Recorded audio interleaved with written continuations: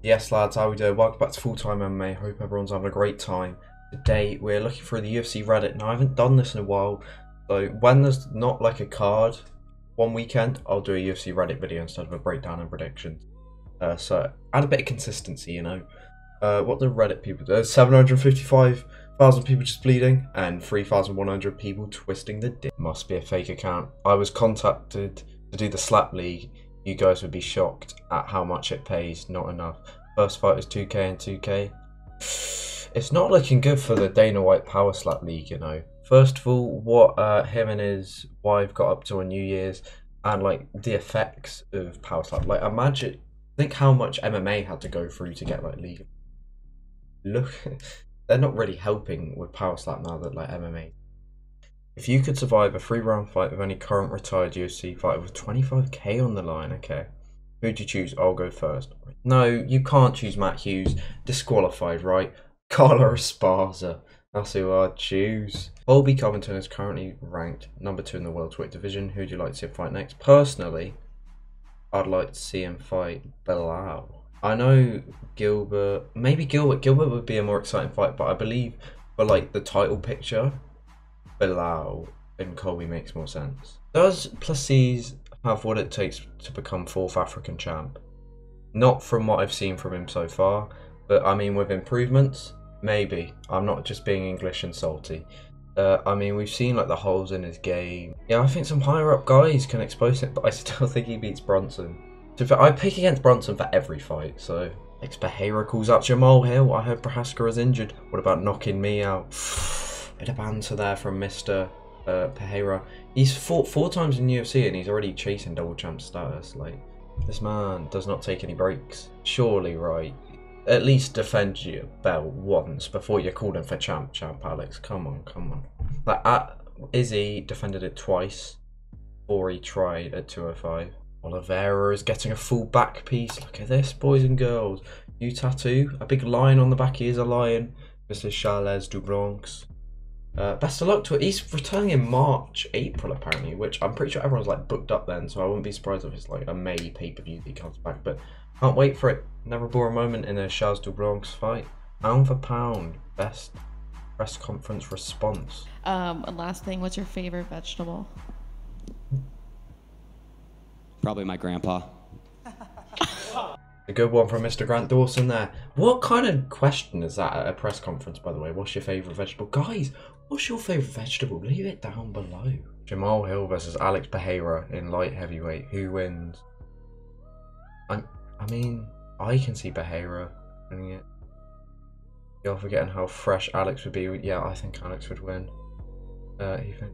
See, I think Alex would win. I think Jamahal Hill beats Yuri Prochazka. Hang on, let's open up the ranking. Right, oh, we got a little power slap up there. Uh, where is like everyone? I think he beats Yuri. I don't think he beats Ankalaev. I think he beats Blachowicz. Rakic would be a good fight. I'd love to see Rakic versus Jamahal Hill. Anthony Smith. I before I would have predicted Anthony Smith, but after that performance against Glover, he's ranking. Uh, Krylov. Oh, Krylov. That would be a close one actually. Walker's already beat, Ozdemir had beat, Spann had beat, Craig, he, he's, oh, oh, Paul Craig, would he win in a rematch? I, was about to say, hopefully we get it one day, we'll never get it one day. Paul Craig on a two fight losing streak, number 11, Jamahal Hill's the champ. I mean, if he beat Ozdemir, he'd be in title contention. Maybe it would have been Jamal Hill versus Paul Craig 2 for the belt, but no. That's crazy to think about though. Paul Craig would probably be fighting for a belt if he beat Volkan Ozdemir against Glover Teixeira. If you told someone at the start of 2022 that these people would all be champions, I think they'd go into shock. Yeah, I mean, all our news, every division. It was Glover, Izzy, Maru, Charles do Bronx. Now look at it, completely different. That's what's good about the UFC. The best fight the best. So that's why you don't see like boxing people hold on to their titles for a while. In the UFC, you don't have that because it's the best versus the best. How big, just how big is Poatan? No, I'm going to do a whole video on him with light heavyweights, maybe even a short, because Alex Pereira standing next to light heavyweights, he makes himself look like a heavyweight. Jo Johnny Walker is a huge light heavyweight, and look at him next to middleweight champion Alex Pereira. It's just it's almost illegal. Like Joe Rogan said, it's almost illegal how much weight he cuts and how big that man is. I saw this. You know, you may have already seen my short about this. Conor returns to TUF coaching, hopefully against Chandler. That should be fireworks as well as the fight. I just hope Chandler doesn't come with a really wrestling heavy approach because if Dustin Poirier out wrestled Conor, then I can only see Chandler Conor going one way. I like both these guys, so I hate. I think Burns does as well. I think Belal's a phenomenal fighter. Like, let's not get that wrong. Bilal Muhammad is a phenomenal fighter, but I just think Gilbert's better everywhere, and not by much. But I just think it's a bad stylistic matchup for Belal. Uh, yeah, I mean, Burns, he just needs fights, doesn't he? Because if we look at Burns, right, we can't put him back in the title picture yet because look, he's coming off one win, which was a, a good performance, you know, good performance. But if we look at Belal, right, Belal, win, win, must have been a win. I think he did win that one, win, no contest, win, win, win, win, win. So, yeah, at the end of the day, Belal Muhammad is on a massive win streak. He deserves it, and he's been fighting, fighting higher ranked guys as well. So I don't know why Gilbert was like, oh, I don't know why he's ranked above me. It's because he's been more active. He's been fighting better people. Simple as that. And he got a finish over Sean Brady in his last fight. Dan Hooker only fights monsters. Dan Hooker's last eight opponents when they all failed a 5 1. Poirier 5 1. Chandler 5 1. Nasrat, however you pronounce it, think it's pronounced 5 and 1. Islam 8 and 0. Arnold Allen 8 and 0. Puelles and Jalen Turner both 5 and 0. The man doesn't take an easy fight. Jalen Turner and him should be a war. I was kind of hoping for Jalen Turner, and Drew Dober, but hey, I'm not complaining. MMA gatekeepers. Alright, let's look at the rankings. Gatekeeper. First of all, first one that comes to mind is Derek Brunson. Lightweight. I, I don't think there is one at lightweight. Uh, 205. Ozdemir.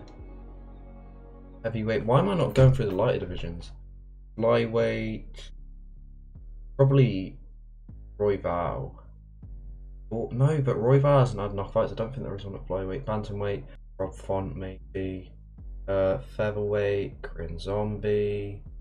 Um, lightweight. We've already done that. We're through. All right, nice. Uh, but let's see what everyone else has said. Jolly Cowboy, Oven St. Peru. Yeah, yeah, yeah. Anthony Smith. Oh, I didn't. Michael, Chandler. Michael Chandler. I don't think of Michael Chandler as a gatekeeper, but he does need to like. I know he's got the fight with Conor hopefully coming up, but he like he needs to fight actual contenders. Like he needs to fight a Gamrot, a Jurican, uh, Jalen Turner, someone like this.